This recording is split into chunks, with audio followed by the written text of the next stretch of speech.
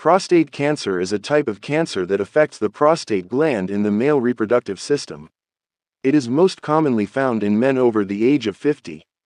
Prostate cancers that grow slowly and stay confined to the prostate gland do not usually cause serious harm, and they require little or no treatment. However, prostate cancers that grow rapidly and spread quickly to other parts of the body can cause serious and irreversible damages if not promptly treated.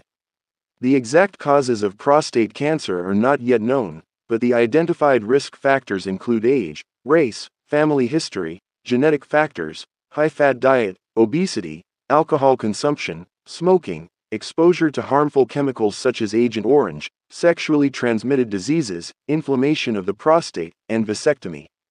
During the early stage of prostate cancer, some men do not show or have any symptom, however, those who do, may experience signs and symptoms such as difficulty in starting, maintaining, and stopping urination, decreased force in the stream of urine, frequent urge to urinate, especially at night, blood in the urine or semen, painful urination and ejaculation, and frequent pain in the lower back, hips, or the upper thighs. The symptoms experienced at the advanced stage, when the cancer has spread to other parts of the body, include bone pain, fatigue, and unexplained weight loss. Complications that can develop from advanced prostate cancer include broken bones, urinary incontinence, and erectile dysfunction.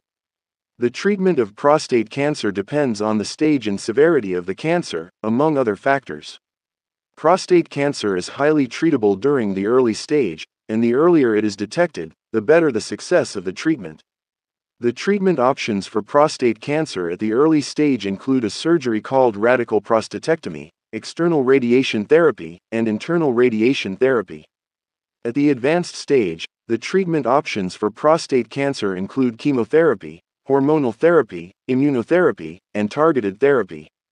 It should be noted that prostate cancer treatments have possible risks and side effects, which include infertility, bleeding, blood clots, infections, retrograde ejaculation, erectile dysfunction, urinary incontinence, and urethral stricture. Hence, it is very important to have a discussion with your healthcare provider about the best treatment options for your condition before proceeding with the treatment. Thanks for watching.